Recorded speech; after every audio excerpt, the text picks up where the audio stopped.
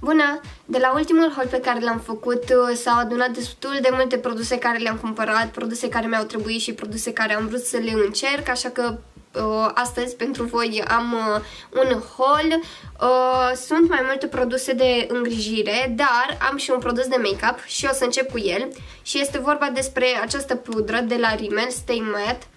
Uh, auzisem uh, multe păreri despre această pudră pe uh, YouTube, pe bloguri, pe Facebook, peste tot, toată, toată vlogosfera vorbește despre această pudră, chiar și în străinătate.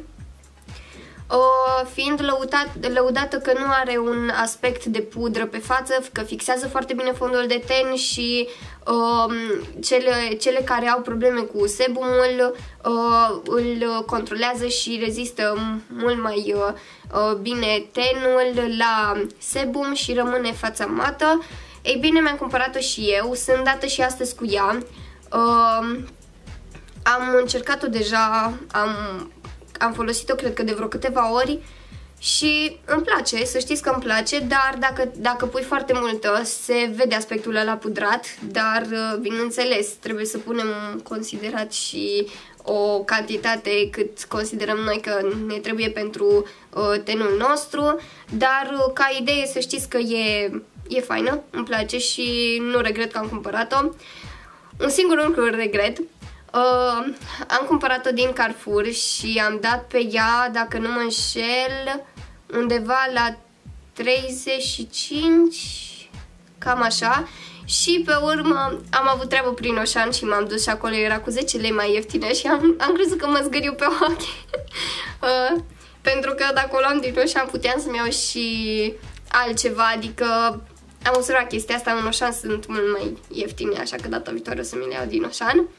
Ca idee, îmi place, o aplic cu acea pudră din setul de pe Aoro și îmi ține, îmi ține tenul mat destul de mult timp. În continuare vreau să vă arăt două game de îngrijire.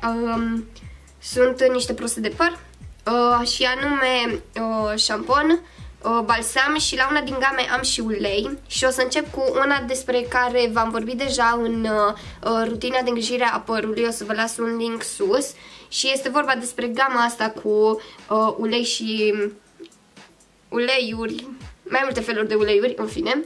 Uh, eu astea le-am uh, le început deja, vi le-am arătat și atunci. Acesta este um, șamponul, balsamul și uleiul. Dacă vreți să auziți uh, o părere despre aceste produse, mergeți la acel videoclip pentru că acolo mi-am spus părerea și uh, am spus cum acționează și îmi plac. Iar cealaltă gamă pe care am cumpărat-o să o încerc, deși nu prea aveam nevoie, este vorba despre această uh, gama roșie. Este cu ulei de argan și cred că alea sunt uh, rozinchine. Uh, am cumpărat-o pentru că îmi place foarte mult cum miroase și chiar dacă eu am părul doar decolorat și câteva șuvițe vopsite, am zis haideți mă să-l încerc, nu poate să facă nimic la păr, așa că o să vedem cum, cum o să acționeze asupra părului meu, dar mi-a plăcut foarte mult mirosul, așa că am zis că trebuie să le iau. Următorul produs, am mai bine zis, următoarele produse sunt uh, două geluri de duș. Uh, și anume acestea de la Nivea sunt gelurile de duș uh, preferate mie îmi plac foarte mult, le iau tot timpul în cantitate de 500 de mililitri. Acesta este gol deja.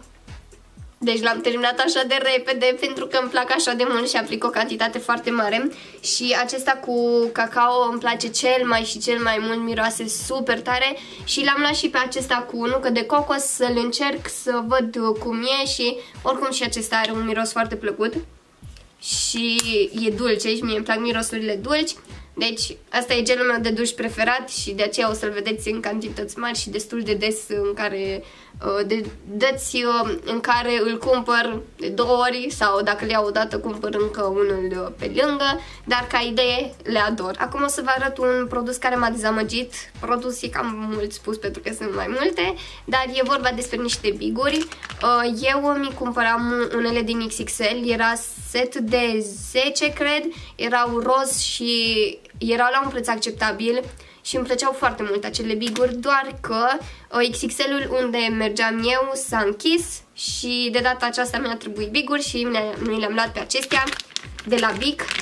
nu-mi plac deloc, sincer, nu-mi plac deloc, deși au, stați că este și desfăcut pentru că le-am încercat, deși au acea bandă roză, cel săpunel sau ce e chestia aia ca să nu-ți irite pielea, zgârie foarte tare și, nu știu, nu îmi plac. În comparație cu celelalte roz care le aveam de la XXL, alea le adoram și prețul, astea au fost 6 și prețul era aproape cât cel uh, uh, celălalt set care erau și mai multe biguri și erau și foarte bune, deci asta am dezamăgit. Când am fost la cumpărături am uitat să-mi iau uh, un uh, pachet din acela mare de șervețele umede pentru că eu mă demachez cu șervețele umede.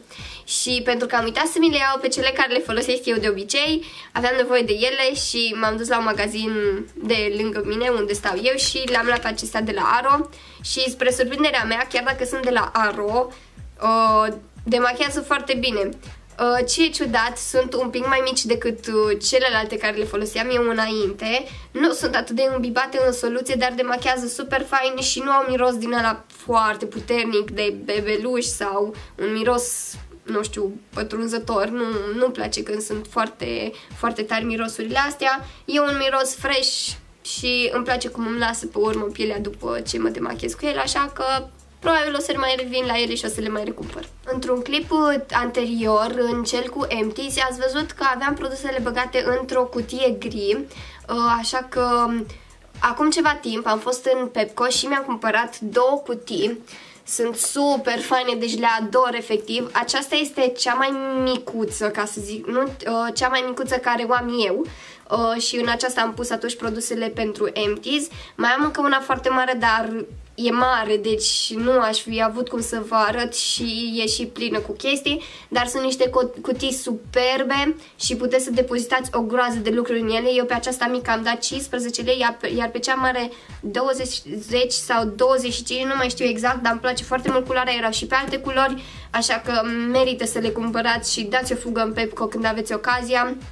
Dacă nu știți unde este Pepco, uh, la noi în Sibiu, în Shopping City, este um, vis-a-vis -vis de Altex, de Decathlon, acolo în, uh, în zona aceea și sunt foarte multe lucruri acolo faine, chestii de depozitat, perne, uh, chestii pentru baie, chestii pentru bucătărie, haine de copii mici, chiar sunt o groază de lucruri și merită să intrați în magazinul ăla pentru că sunt chestiile foarte ieftine, produsele sunt foarte ieftine și de calitate și găsiți toate prostiile posibile acolo. Pentru că v-am mai vorbit și în holul trecut despre ele și știți că îmi plac, Acum o să vă arăt două produse care le-am recuperat pentru că mi s-au terminat și anume fixativul de la Taft și Lara.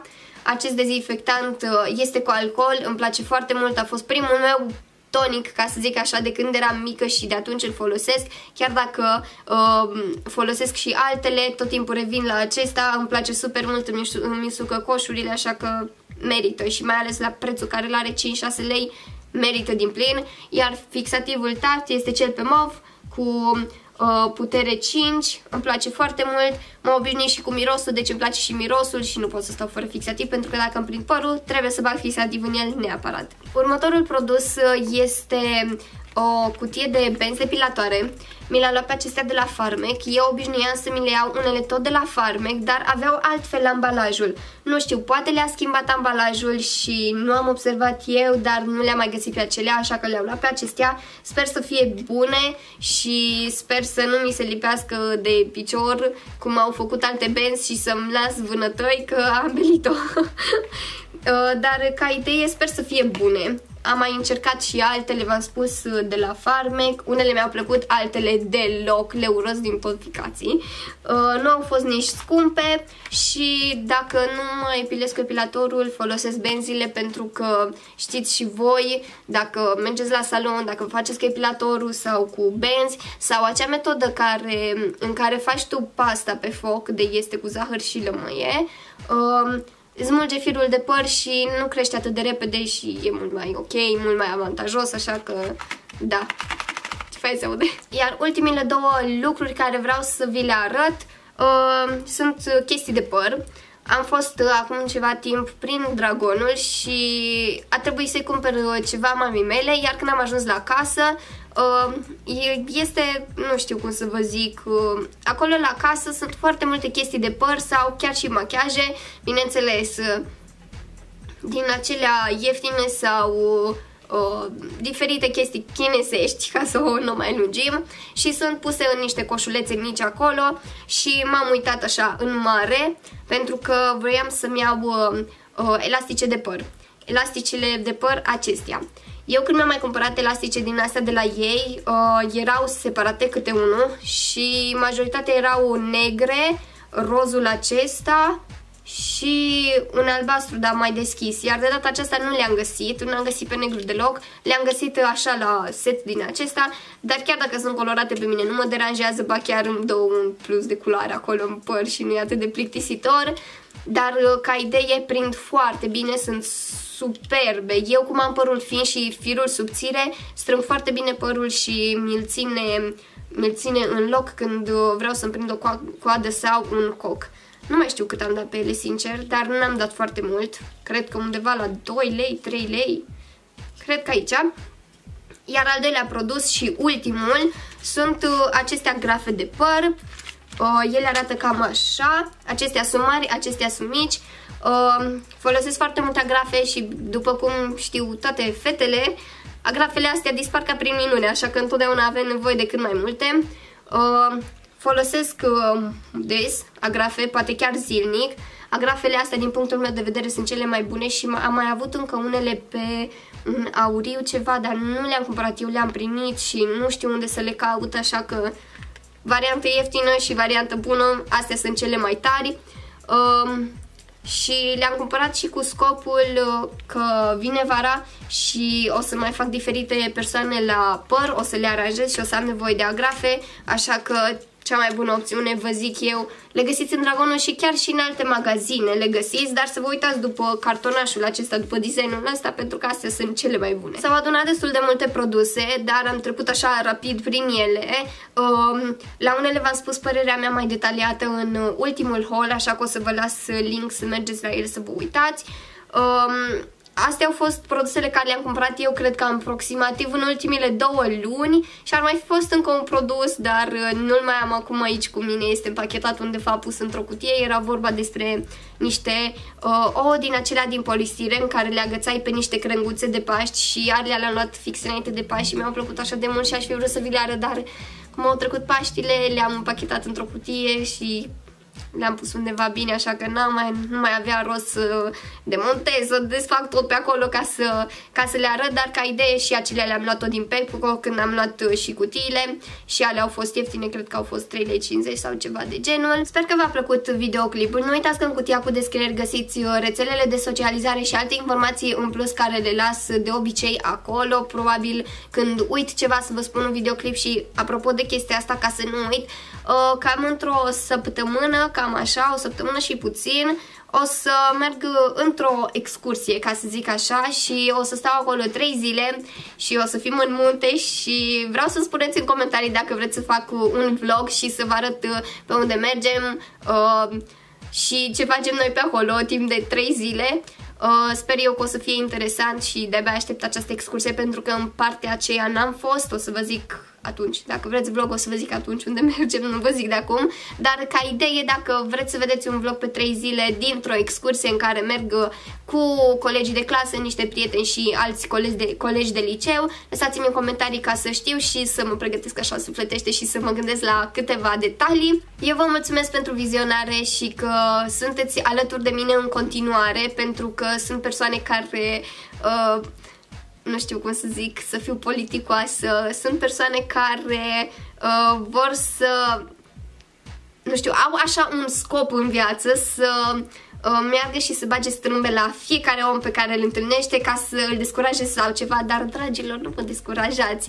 Uh, asta referitor la câteva comentarii, de fapt la unul mai exact și cine mă urmărește pe Instagram și pe Facebook știe despre care comentarii este vorba, dar uh, pe mine m-a amuzat și mă amuză în continuare comentariile de genul, așa că stați pe curul vostru pentru că nu mă impresionați dacă lăsați comentarii urâte, eu o să fac treaba, eu fac ce îmi place mie și o să continui chestia asta cu YouTube-ul pentru că îmi place și pentru că uh, nu știu, vreau să vă ajut cu mici sfaturi din când în când pentru că nu în fiecare videoclip e vorba despre sfaturi, dar ca idee În fine, nu mă mai lungesc, nu mai are rost să vorbim despre subiectul ăsta. Eu vă mulțumesc că v-ați uitat la videoclip până la capăt. Dacă a ieșit cumva lung, îmi cer scuze.